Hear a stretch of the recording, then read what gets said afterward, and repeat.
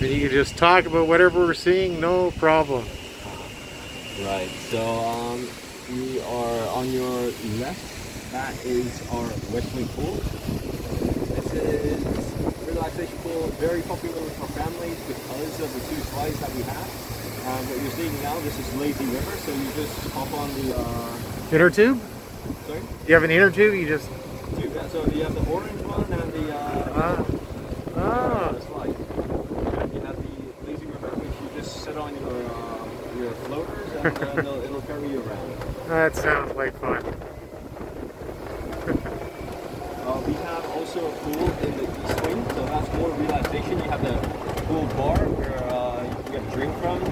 It's a of pool bar. And also, uh, we have water hammocks. And just, it's not adults only pool. You don't advertise it that way, but uh, kids do have to be 14 years old because of the presence of alcohol to be able to come to you know, the main pool. Ah. Uh, we do Oh. have a small football field over here, but we also have a uh, FIFA accredited uh, football field, which is a larger one, and that's used by Manchester City uh, for training. And, uh, we use it, we welcome a lot of um, uh, like the football and training camps, and uh, Now I had a question because sometimes you go to some resorts, they have tennis courts, and you can sometimes hire a tennis professional. Do you have any soccer professionals that you can hire? uh, not soccer professional. We do have uh, football, football camps uh, every now and then. Oh, nice. So when we're going to the marina, you can tell us which one's your boat, Jeff. it's the biggest one. You're supposed to say it's the biggest course, one. of course, that's the biggest one. So this is uh, so all this is palace ground um, during the winter time. Uh, over there, amongst the trees. Uh, so all these are landscapes. So whichever so like angle you look, it's, uh, it's being designed that way. And uh, so during the winter time, when uh, people can come outside, have picnics, uh, and uh, just roam around. I mean, this is the great advantage of Emirates Palace. is It's uh, outdoor uh, uh, activity space. Now I had a question. So the people having the picnics, are those people just live around the area and can come and have a picnic, or do you have to be staying at the hotel? Um, so we offer picnic packages, so they would be open like uh, kind of like a temporary pop-up restaurant. Okay. So they would have picnic baskets, uh, so like buffet. Uh, this is back in the day. Buffet's not fully uh, restored yet, but uh, obviously with, with the current regulations, the way it is going, it would be highly likely that we'll resume operation.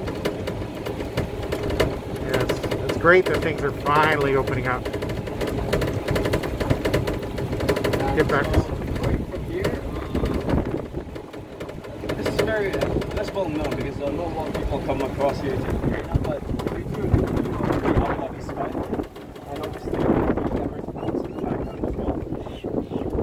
That that uh, building, yes, it looks very familiar buildings to other places around the world. Is that a hotel as well? Uh,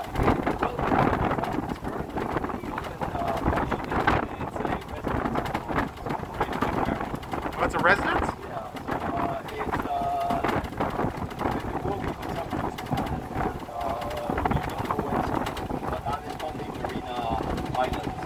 Oh, marina. Marina malls over there? Okay. Yeah, that's where I have to go later tonight. Because it looks like Atlantis, right? Is that kind Yeah, yeah. I mean, with arch and you know.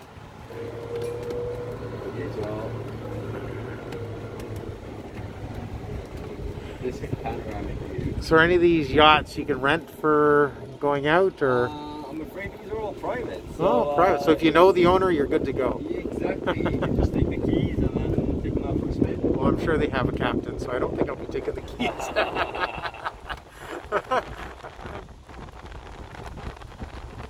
Is that a theme park over there too? There's a any No, so that's the uh, that's part of the Marina Mall. That's uh, that Ferris wheel over there. Ah, So yeah, I'll go for later. I'll be going dinner there. yeah, very nice. 'Cause I think it opens closes at uh, ten. I think. Uh, much later, I believe. Oh Uh, wow. so the uh, the the shopping malls here they open at 10 a.m.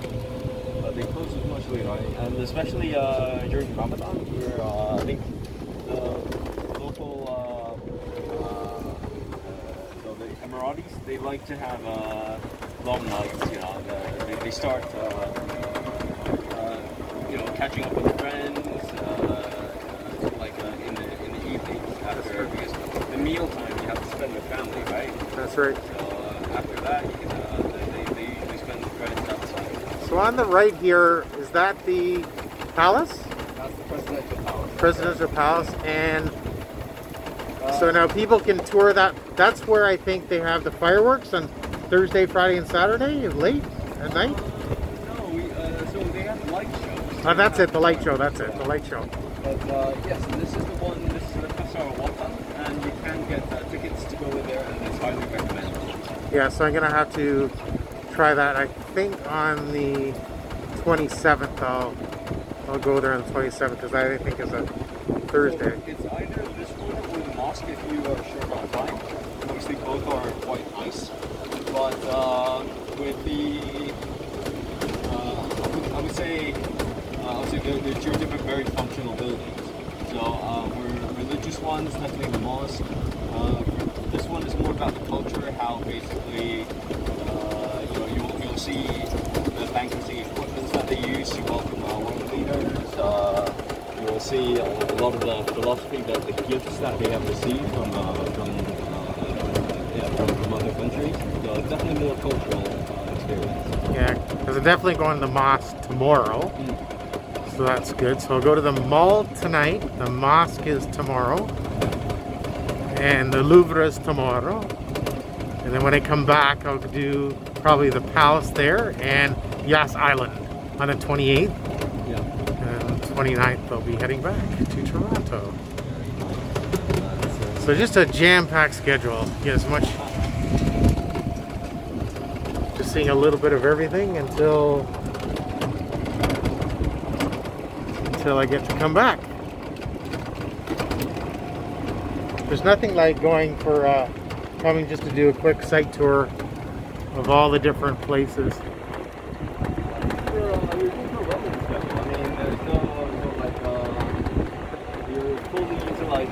I. Yes. Everybody says, You're going on vacation? No, I'm working. the whole time I'm working. That bad now, given the, uh, you know, the, the temperature, the, uh, Yeah, it's beautiful. I think it's 32 degrees here today. yeah. No, what- well, the thing for me is I enjoy meeting people. It's not only getting out, finally traveling again, but meeting people, uh, you know, seeing beautiful places and trying different foods. That's what it's. that's-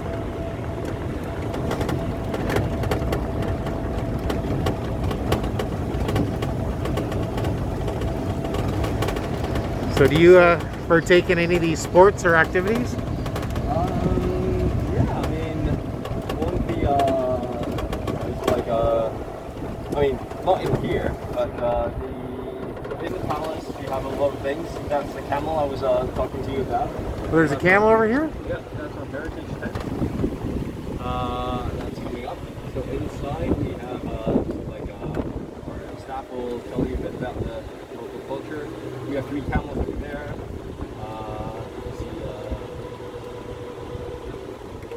there we go. And uh, yeah, we, we take guests for a spin. Also, on top of this, there are four peacocks uh, roaming around the palace grounds. Uh, Ah, they're they're not bound to a place, so you'll have to so like uh, find them. yeah find them. Hide and go seek. Exactly, exactly. I'll do. I'll do a scavenger hunt. Anybody who brings a peacock back gets prize. Like I said, we have uh, art installments uh, throughout the uh, palace. Are, uh, yeah, so it's really, I mean, if you stay here, we really encourage you to go out and explore. Even though the rooms are nice by themselves. is it well lit at night? So when the temperature is not a lot nicer, it's good to go to. Absolutely. It's, uh, and for couples, it's the most romantic setting that you can Speaking of romantic settings, that is our barbecue al restaurant. Those are not beach cabanas. And uh, they only open during the winter season. Oh, that's good. It's the, it's, yeah, it's the al dining experience. It's like a, grilled uh, uh, seafood and, and, and steaks. Uh, yeah. So when is your winter season start and end? Oh, it started in early October. Perfect. So we are now in the winter season. Fantastic. There's the Mediterranean restaurant. Exactly. And here we are. There. Very, very much.